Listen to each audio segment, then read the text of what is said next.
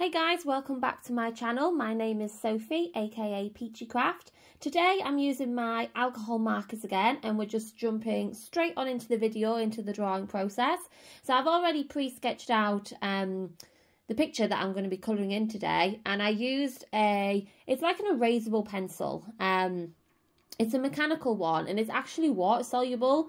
So as you apply the alcohol markers on top, it makes the ink, the um, pencil disappear, which is great um, in some aspects. If you're not sure, if you didn't realise that it did it and you drew a whole sketch, then it disappears. That's not so great. So trial and error, I now know how to use it. It works best with alcohol markers for me, not watercolour. Um, but anyway, yes, so we're doing the alcohol marker drawing. Um, and like I say, so we're doing our pastel colours again and it turned out looking really pretty. Um, initially, I start blending the drink and I do struggle a bit to get that clean bl blend um, just because the colours are so different. They naturally don't want to blend together. So what I did is I layered the pink and the purple with the broad nib and then using the brush nib, I would kind of feather the colour into one another. Normally, normally I'd do the purple to the pink just to get that graduation and then I'd go back in with the pink and feather up the other way just to get it to blend really. Um, it's just a case with alcohol markers of layering and layering until it's blended. Um, when I use alcohol markers, I tend to get a lot of pigment on the page in terms of the page will be wet, like um, when you're blending the markers together, you can you can tell the page is still damp. And that's how I get the blend. If the page is too dry, the ink tries to stay where it's put and it won't blend. Whereas if it's quite wet, then the ink kind of spreads to where you want it to be. Um, in a sense, obviously you've got to do a bit of blend, a lot of blending yourself as well. But yeah, that's just what I do. Um, I did end up struggling quite a lot with this picture. You'll see um, the alcohol markers, they blended really well. Um, I never really know how to do line art when it comes to using alcohol markers. I always feel like my line art just ends up looking really messy and really patchy. I've tried using coloured pencils. Um, I've got them coloured fine liners, so I might give them a go, but I just feel like they're going to end up being too stark on the on the actual alcohol markers themselves, but we'll see. So yeah, so I wasn't too happy with the line art and then so I thought, oh, I'll go on top of it with um, a white Posca to add highlights and things. Turns out my Posca is running out, um, which was annoying. I do love Posca white pens for highlights, but I find they run out so quickly. Obviously, I do use it a lot, but I feel like I'm just always buying them. And when they do end up running out, you can really tell because they just go patchy and the pigment isn't intense.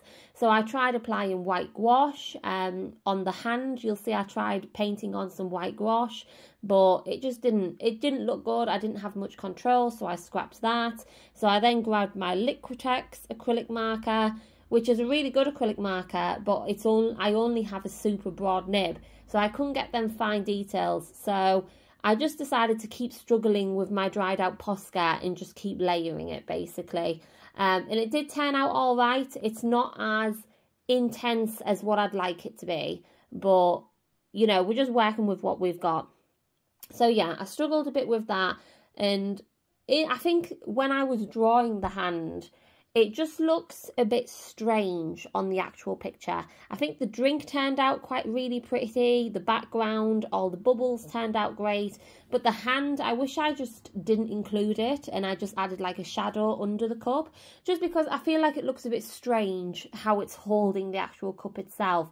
On the photo it looks fine, obviously my drawing skills of reinterpreting it on the page just didn't turn out the best.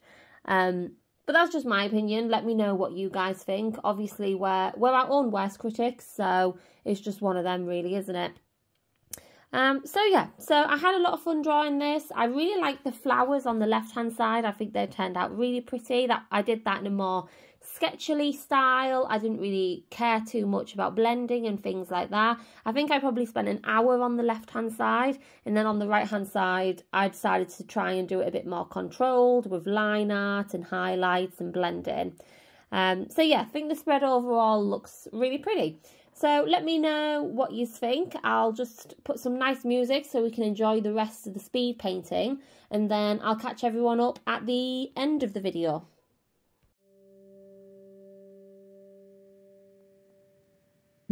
thank mm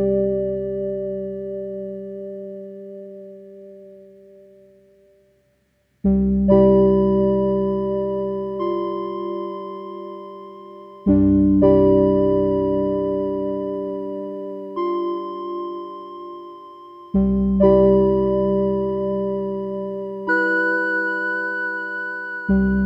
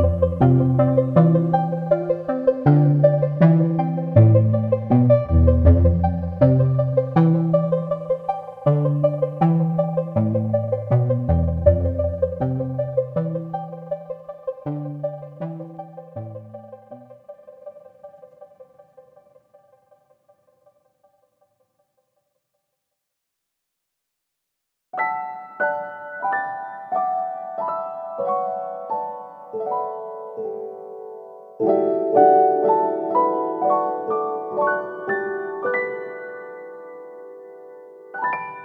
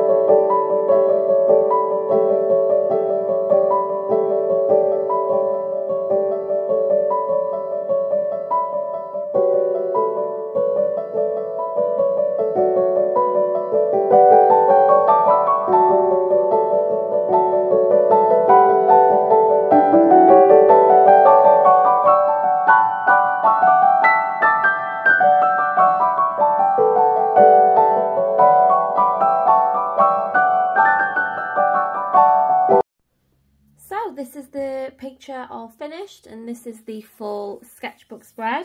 Um, I think it turned out quite nice. It's not my favourite drawing in the world. I think it's the hand. It just looks a bit strange to me. But together as a full spread, it turned out looking quite pretty. Um, so let me know what you think. If you enjoyed the video, make sure to hit that like button and subscribe if you want to see more content. And I'll catch everyone in the next video. Bye guys!